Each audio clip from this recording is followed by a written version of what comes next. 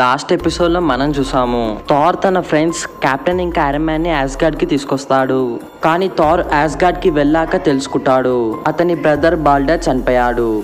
అప్పుడు అతను అర్థం చేసుకుంటాడు. రాగ్నరాక్ వస్తుందని. థార్ తన వల్ల తన ఫ్రెండ్స్ చావకూడదని అనుకుంటున్నాడు. అందుకనే థార్ తన ఫ్రెండ్స్ని మళ్ళీ ఎర్త్ మీదకి పంపుతాడు. తర్వాత మిగిలి ఉన్న యాస్గార్డియన్స్తో యుద్ధం చేయడానికి వెళ్తాడు. ఎందుకంటే అతను యాస్గార్డియన్ అతను ఎప్పుడు వెనకాలకి తిరగడు.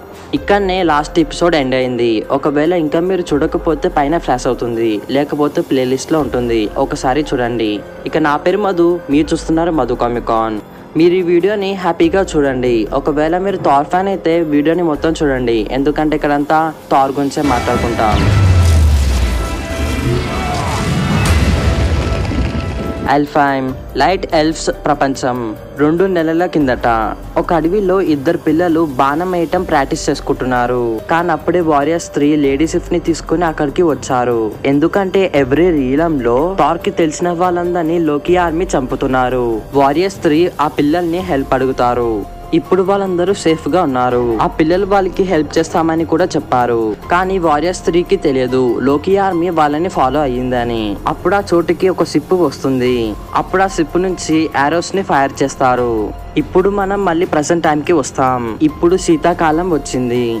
అందుకే ఆ చోటు మొత్తం మంచుతో నిండిపోయింది. అక్కడ మొత్తం చల్లగా ఉంది. అంతకు మించి అక్కడ ఏమీ లేదు. కానీ అంత చలిలో కూడా ఒకరు బతికే ఉన్నారు. ఆ వ్యక్తి చలి నుంచి తప్పించుకోవటానికి నిప్పుని పెట్టాడు. కానీ అప్పుడే ఆ చోటుకి తార్ వస్తాడు. అప్పుడు తార్ ఇలా అంటాడు ఇక్కడ ఎవరైనా ఉన్నారా? నేను థార్ కింగ్ ఆఫ్ యాస్గార్డ్. కానీ అప్పుడే లోపలికి వెళ్ళి వాల్స్టాగ్ వచ్చి థార్ మీద అటాక్ చేస్తాడు. ఇలా అంటాడు. నువ్వు నిజం కాదు. థార్ నా కళ్ళ ముందే చనిపోయాడు. కానీ వాల్స్టాగ్ వెపన్ థార్కి గుద్దుకున్న వెంటనే ఇరిగిపోయింది. అప్పుడు వాల్స్టాగ్ అర్థం చేసుకుంటాడు. అతను రియల్ అని. అప్పుడు వాల్స్టాగ్ తన రాజు ముందు మోకాల మీద కూర్చొని ఇలా అంటాడు. నన్ను క్షమించండి మై లార్డ్. నేను మిమ్మల్ని దయ్యమని అనుకున్నాను. థార్ వాల్స్టాగ్ని ఈ విధంగా చూసి షాక్ అయ్యాడు. ఎందుకంటే వాల్ బాల్స్టాగ్ చాలా వీక్ అయ్యాడు. థార్ బాల్స్టాగ్ని ఈ విధంగా ఎప్పుడు చూడలేదు. అప్పుడు థార్ బాల్స్టాగ్ని అడుగుతాడు ఇక్కడ ఏమైంది? అప్పుడు బాల్స్టాగ్ చెప్తాడు నేను ఈ చోటులో ఎవరు బ్రతుకున్నట్టుగా చూడలేదు. ఇక్కడ అంతా అంతమైపోయింది. మేము ఈ చోటుకి సహాయం కోసం వచ్చాము. కానీ అప్పుడే అక్కడికి లోకి ఆర్మీ వచ్చింది. వాళ్ళు ఫ్యాండ్రిల్ని కత్తితో గుండెలో కుచ్చి చంపేశారు. ఇక బాణాలతో హోగన్స్ని చంపారు. ఇక లేడీ సిఫ్ని మేము కాపాడలేకపోయాము. ఇంత ఘోరాన్ని చూసి నేను ఓటమిని ఒప్పుకున్నాను. నేను ఆ చోటు నుంచి పారిపోయి ఇక్కడ దాచుకున్నాను. ఇలా నేను చావు కోసం ఎదురు చూస్తున్నాను నన్ను క్షమించండి కింగ్. నేను నా ఫ్రెండ్స్ని కాపాడలేకపోయాను. అప్పుడు థాట్ చెప్తాడు లేదు నేను నిన్ను క్షమించను. నువ్వు నిలబడాలి. నువ్వు నీ హానర్ కోసం యుద్ధం చేయాలి. ఇక్కడ చనిపోయిన లైట్ ఎల్ఫ్స్ కోసం యుద్ధం చేయాలి. నువ్వు నీ ఫ్రెండ్స్ ఇంకా లేడీషిప్ కోసం యుద్ధం చేయాలి. వాళ్ళ సాక్రిఫైస్ కోసం యుద్ధం చేయాలి. మన యాజ్ గార్డియన్స్ కోసం యుద్ధం చేయాలి. మనం ఎప్పుడు ఓటమిని ఒప్పుకోలేదు. మనం యుద్ధం చేస్తాం. మనం గెలిచినా ఓడిపోయినా కానీ మనం యుద్ధం చేస్తాం. మనం యుద్ధంలో ఒక వారియర్ లాగా చనిపోవాలి. థాట్ చెప్పిన మాటల వల్ల వాల్స్టాక్కి మళ్ళీ హోప్ అనేది వచ్చింది వచ్చింది. హా నేను యుద్ధం చేస్తాను యాస్గార్డ్ కోసం చేస్తాను. అప్పుడు థార్ ట్రోల్ కింగ్ని చంపేసి అతని హ్యామర్ని తీసుకొని వాల్ స్టాక్కి ఇస్తాడు.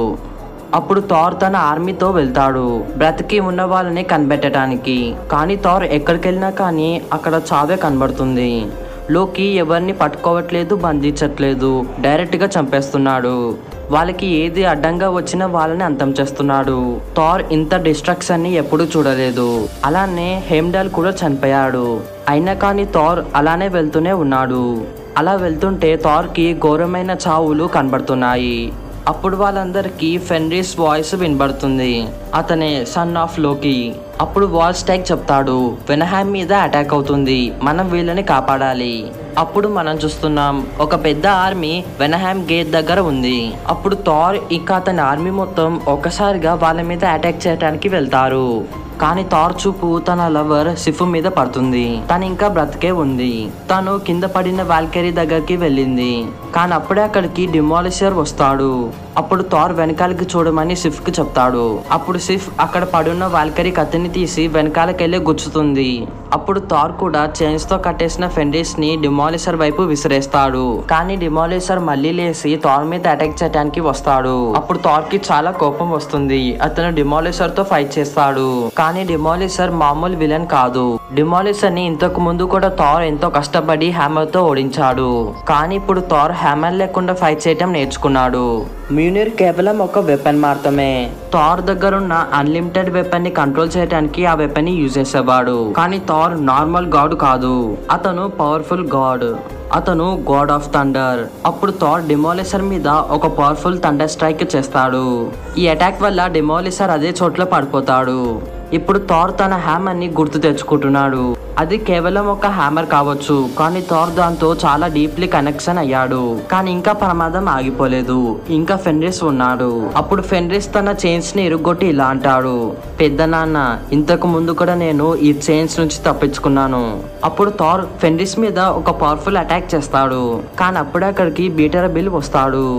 అప్పుడు బీటారా బిల్ ఫెన్రిస్ మీద అటాక్ చేసి ఇలా అంటాడు నీకెంత ధైర్యం నా బ్రదర్ మీద అటాక్ చేస్తావా?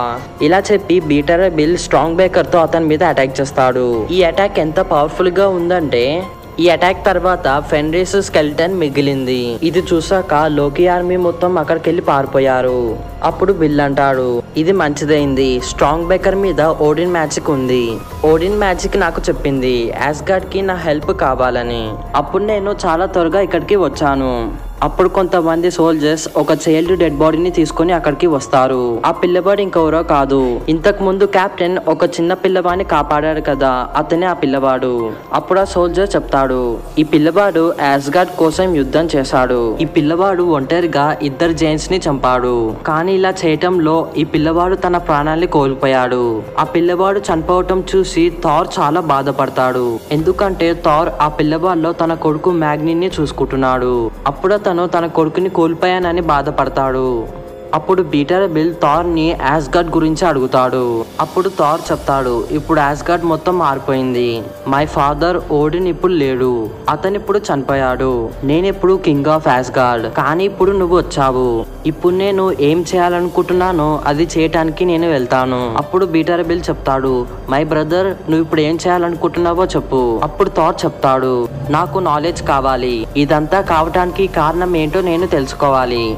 అందుకే నేను ఆ విజ్డమ్ని తీసుకోవటానికి వెళ్తాను. కానీ ఇప్పుడు నువ్వు ఇక్కడికి వచ్చావు. ఇప్పుడు నేను నా ప్రజల్ని నీకిస్తాను. వాళ్ళని నువ్వు కాపాడు. అప్పుడు బిల్ అంటాడు. హా నేను కాపాడుతాను. కానీ నేను యాస్గార్డియన్ని కాదు. అప్పుడు మీ ప్రజలు నన్ను ఏ విధంగా వాళ్ళ లీడర్ అని అనుకుంటారు? అప్పుడు థార్ చెప్తాడు. నువ్వు యాస్గార్డియన్ కాకపోవచ్చు. యాస్గార్డియన్స్ నిన్ను ఒక రాజుగా ఒప్పుకోకపోతే ఒక ప్రొటెక్టర్గా నిన్ను ఒప్పుకుంటారు. అలానే నాకిచ్చే రెస్పెక్ట్ నీకు ఇస్తారు. అప్పుడు థార్ తన ప్రజలందరితో ఇలా అంటాడు. My brother Beta Ray Bill new protector of Asgard అలానే చెప్తాడు. నేను కొంచెం నాలెడ్జ్ని తీసుకోవటానికి ఒక చోటుకి వెళ్తున్నాను. అలా చేస్తే నేను నా ప్రజల్ని కాపాడుకోగలను.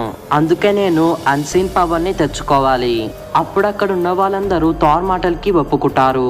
అప్పుడు థార్ తన టూ పెట్స్ని తీసుకొని వెళ్తాడు. ఈ విధంగా ఈ ఎపిసోడ్ ఎండ్ అవుతుంది.